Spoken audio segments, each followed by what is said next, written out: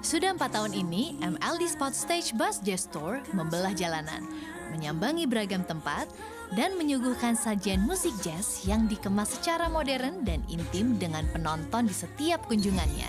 Nah, kita simak yuk testimoni penonton dan musisi yang tampil di panggung istimewa itu di Jakarta International BNI Java Jazz Festival 2019.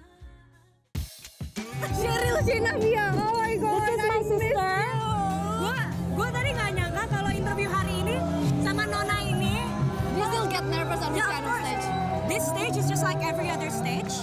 gue kayak pun ini di atas bus nggak di dalam Yeah. dan lain sebagainya malah malah lebih entertaining buat gue karena gue langsung bisa berhadapan dengan orang-orang yang emang lagi enjoy lagi makan Yeah. habis itu ya udah kita ketemu belum pernah ketemu sebelumnya jadi kayak lagi ngobrol sama temen gitu rasanya Ah, gue jujur true. pribadi jauh lebih suka belum pernah juga sih main di hall tapi selama gue datang ke Java Jazz Ya. nonton Java Jazz gue tuh selalu tertarik karena pressure-nya tuh besar banget main di sini Ada pengalaman yang seru nggak sih selama lo ikutan stage bus jazz tour ini?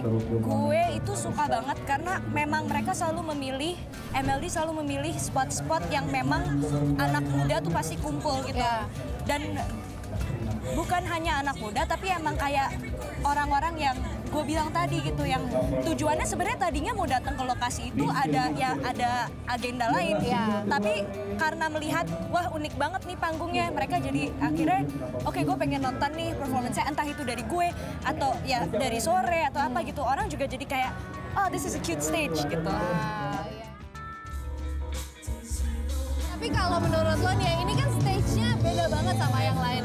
Kalau menurut lo bedanya stage bus jazz tour ini sama stage-stage lainnya di Java Jazz Festival 2019 apa sih? buat stage yang ini sih sangat sangat unik ya karena ya dari konsepnya terbuka gini terus ya ditambah dikelilingin makanan kan jadi bisa sambil Bisa makan, makan ya. sambil denger lagu sambil ngobrol-ngobrol juga lebih asik sih jadi lebih intimate juga sama apa penontonnya Wah iya benar banget karena kalau kita lihat beberapa stage lainnya kan uh, mungkin karena di dalam jadi agak terpisah ya sama Iya, penonton. Kalau ini benar-benar lo sampai depan juga bisa Iya, nonton ya intimate benar-benar ya. dekat banget sama artis Iya. kesukaan lo. Oke Ren, thank you so much. Iya, thank Maaf banget ya gue ganggu waktunya. Oh. Selamat nonton sore lagi. Salam buat bapak pacar ya.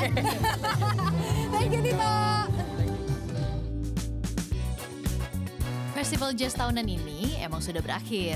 Tapi gaungnya tetap meninggalkan kesan mendalam bagi para penampil dan penontonnya.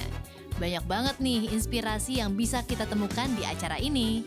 Lo pastinya nggak mau kan ngelewatin event ini tahun depan? Get yourself inspired by MLD Spot TV.